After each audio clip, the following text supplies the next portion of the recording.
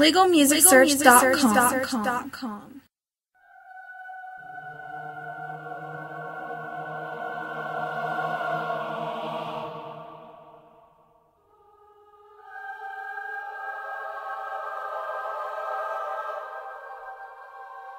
Hello, folks. Today we will be explaining Top 10 Ways to Get Yourself Ostracized by the Catholic Church.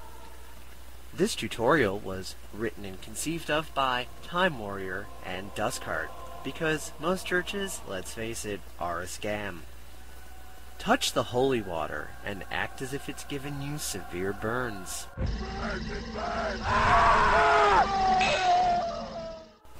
When you sing the hymns, replace words like our Lord, or God, or Jesus, or eternal life in heaven with my master Satan, or Lucifer the Dark One, or eternal bliss in hell.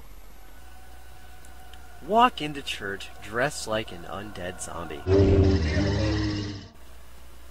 When the priest says, May, God, bless you, say, I'm, sorry, but, the, dark Lord would not permit it.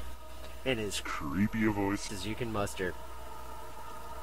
While the priest is giving the sermon, chant gibberish in a demonic sounding voice at as high of a volume as you can achieve without actually yelling. Confess sins to the priest that you actually didn't do. Make sure they are as stomach churning as possible, such as, I had anal intercourse with a sheep and my sister with an egg beater. Volunteer to teach Sunday school class and explain to the children exactly who does what to altar boys, why it's done, and how to properly file a police report. boys, bad boys. What you gonna do? What you gonna do when they come for you? Big cookies to give away at the next church picnic. Make sure they are cut into extremely obscene shapes, preferably the more publicly inappropriate parts of the human body. Oh, oh God.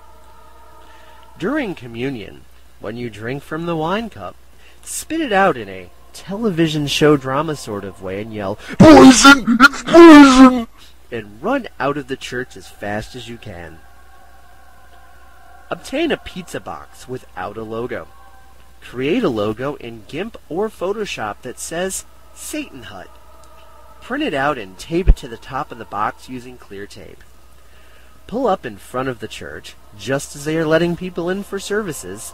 Walk up to the priest and say in a raspy demonic voice, I'm here for your deliverance. This concludes the tutorial of the top 10 ways to get yourself ostracized by the Catholic Church.